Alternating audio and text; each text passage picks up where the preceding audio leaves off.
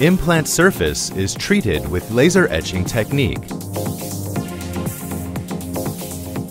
Laser-treated surface will form the unique microchannel with nanostructure.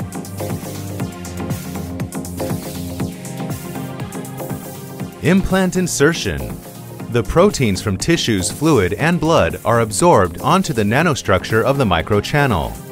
Progenitor cells of osteoblast are brought onto the nanostructure on the top of microchannel.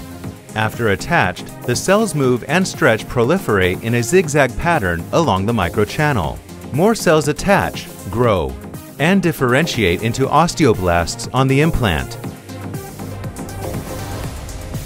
The cells and their extracellular matrix form the ceiling of the microchannel. The microfluid within the microchannel keeps supplying the nutrients for the osteoblast's metabolic and bone formation.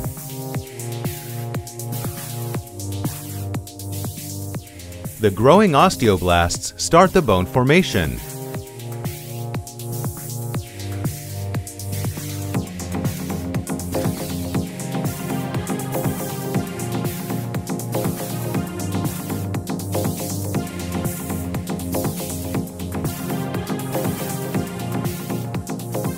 The new bone matures on the implant and merge with the surrounding bone. Abutment installation and crown fabrication.